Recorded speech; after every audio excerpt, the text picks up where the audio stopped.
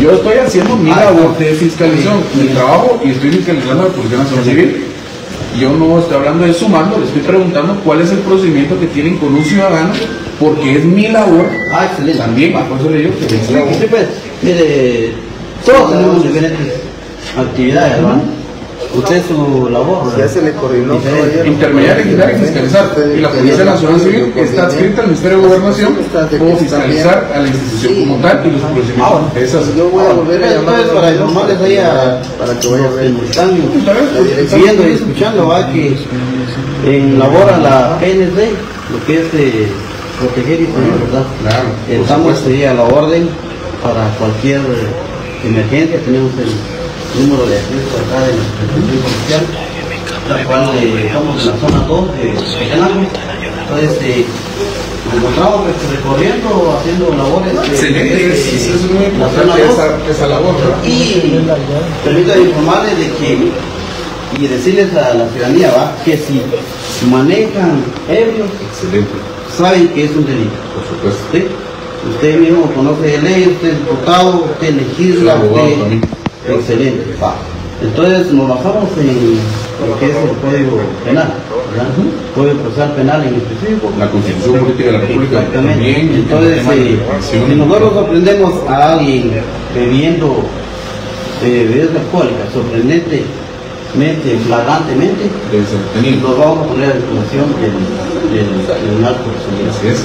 En el caso de él, lo vamos a poner a disposición. Creo que es una persona que está manejando en estado de clínico. Exactamente. Ahí Lo ponemos a disposición de los tribunales correspondientes y nosotros ahí no podemos hacer nada. ¿verdad? Si viene algún, alguien a infringir y contra la ley, pues puede venir alguien aquí, un licenciado, un diputado, lo que sea. Si viene a intervenir por esa persona, lo siento mucho, pero nosotros estamos basados en ley. Sí, solo para informarle.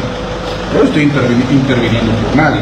Ah, bueno. Yo estoy haciendo mi labor de fiscalización Ah, de seguridad ciudadana. No trate de. venía- venía no, no, no, no, no, no, no Ah, trate de cambiar las cosas, mi estimado gente, porque usted está mal informado. Yo estoy Ah, ya. haciendo y está plenamente documentado Ah, lo que estoy haciendo aquí antes de venir. Sí, porque Yo el día de no, déjame hablar, por favor. bueno, no. Pues yo estoy hablando. Uy, Yo estoy haciendo mi labor de fiscalización del plan de seguridad ciudadana en Quetzaltenango. excelente. No solo es con usted, es en las diversas zonas de Quetzaltenango. Usted me dice que, que usted no tiene que responder, pues le cuento que usted sí tiene que responder. Los diputados podemos fiscalizar las instituciones públicas, podemos ingresar a cualquier edificio del Estado y podemos verificar las actividades que realizan los empleados y funcionarios públicos. Con todo respeto se lo digo. Yo no le he faltado el respeto. Señor. Y como le digo, yo no estoy interviniendo por nadie, estoy verificando No. un procedimiento y a mi consideración, por eso le consultaba, eh, me pareció raro ver que había una persona consignada y que no le habían requerido los datos y que usted traía manejando el carro del señor. Sí. Usted me explicó que era porque no tenía quien manejar. Eh, gracias, muy amable. Fíjese que en este procedimiento lo que pasa es de que cuando la persona viene bajo efectos de licor, en especial, pues le puede decir únicamente que no va a colaborar con nosotros, porque realmente ellos saben cuál es la consecuencia. Así es, ustedes deben Entonces, lo consignar primero que inmediatamente hacemos es eh, meterlo a la autopatrulla, como viene el señor ahorita en este Excelente. momento. Yo como piloto ya experto en manejar y estoy en sano juicio, pues Por procedo a trasladar el vehículo a la subestación policial, porque no tenemos otro lugar a donde ¿Esta subestación qué número es?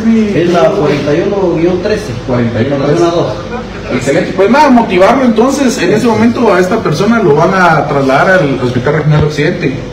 Porque sí, veo sí, que viene lastimado, porque eh, Sí, sí, posiblemente. así Sí. debe ser el procedimiento claro, y posteriormente claro. pues, al juzgado de paz correspondiente, ¿no? Y para evaluar también el procedimiento del Independientemente de si está infringiendo la ley, pues, Claro. y si está herido, pues nosotros es nuestra obligación. Pues nada, motivarlos a ustedes a que sigan adelante con la- el plan de. De proteger a la ciudadanía de Quetzaltenango. En la última semana se ha disparado uno de los indicadores de eh, asaltos y de hurtos en la ciudad. Es importante que ustedes pues, brinden, no me queda duda que así debe ser, eh, la mejor atención y la seguridad ciudadana, sobre todo en esta área que es bastante conflictiva. Así que estoy a sus órdenes y continuamos ustedes con Vamos su a pago, órdenes. yo con el mío. Así que Dios me los bendiga. Gracias, diputado, que le va bien. Buenas noches, oficiales. Vamos a hacer una consulta ahí. ¿Ya identificaron al... Ahorita lo estamos haciendo. Ya, ya. Ya, ya. A Ah, bueno. familiares ya, ya identificaron a va. a los casos de ganos que no hayan tiempo bajo conocimiento para poder llegar ahí. Todo bien en el procedimiento, no, no le, le querían nada, no quiero de la ley, nada. ¿Tienes miedo de fiscalizar que las cosas no estén haciendo de manera, verdad? Bueno, eh, como pueden ver, estado dándole seguimiento plan de seguridad ciudadana en Quetzaltenango. Al principio pudimos ver ahí que el oficial, pues que no le, no, no le quedaba claro lo que estábamos haciendo acá, pero hay que investigar, hay que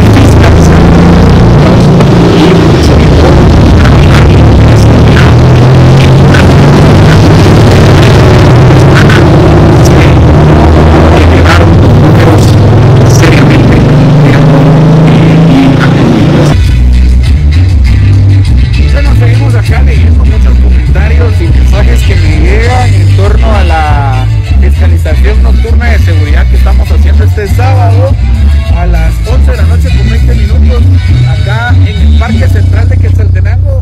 Pudimos observar que habían dos agentes de la Policía Nacional Civil únicamente, pues ahí estaban ellos cuando yo llegué a lo que se conoce como el templete pudimos ver que estos dos agentes estaban eh, pidiéndole a un grupo de jóvenes que se retiraran porque estaban consumiendo bebidas alcohólicas y estaban haciendo sus necesidades ahí. Lamentable, porque al final es el Parque Central de Quetzaltenango, como pueden ver, lleno de basura, lleno de orines, mucha suciedad.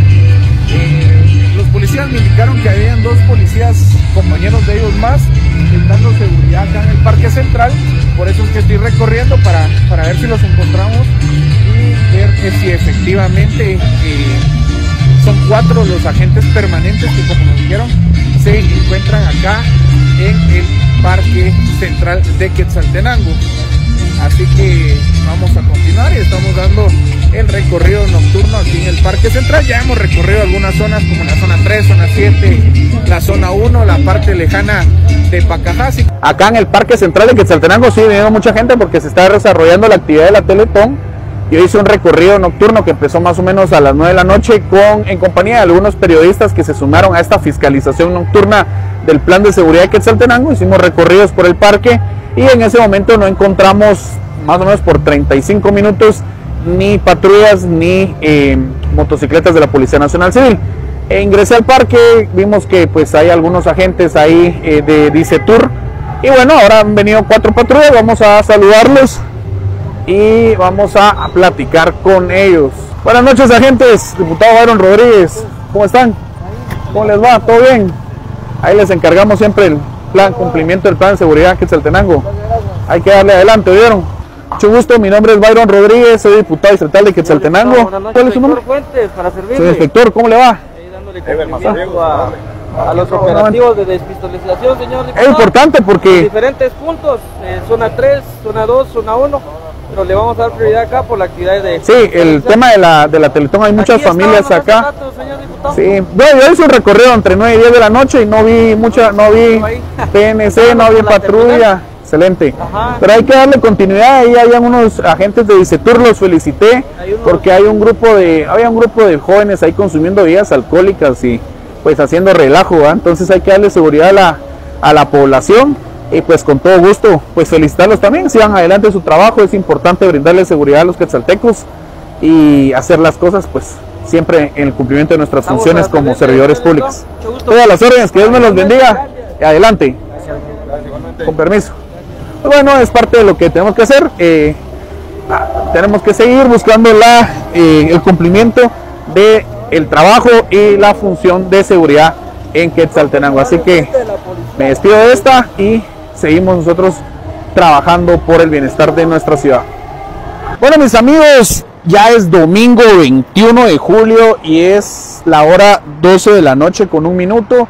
Vamos a ir terminando ya este recorrido de fiscalización nocturno al plan de seguridad en Quetzaltenango que iniciamos alrededor de las 9 de la noche, donde nos acompañaron algunos señores periodistas locales de Quetzaltenango y junto con mi equipo pudimos recorrer las principales zonas de Quetzaltenango. Fuimos a la zona 5, a la zona 7, a la zona 3, a la zona 1, a la zona 2, a la zona 4.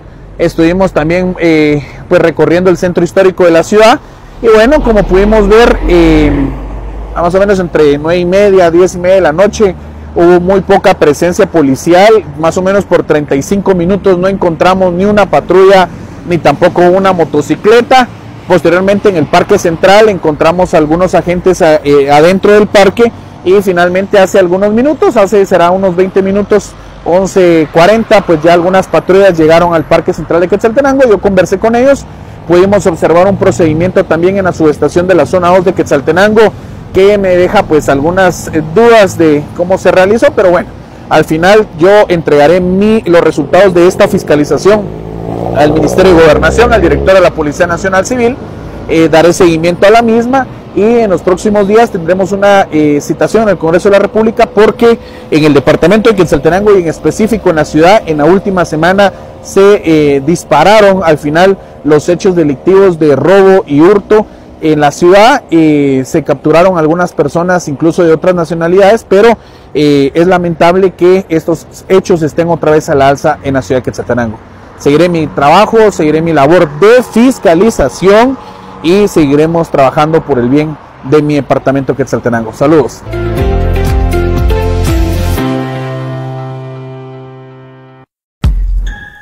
Y bueno, eso ha sido todo, espero que les haya gustado el video y si fue así, pues ya saben, dejen su poderoso like o dislike. Suscríbanse y activen la campanita de notificaciones para no perderse de los nuevos videos. También les recuerdo que ustedes tienen la última opinión en la cajita de comentarios.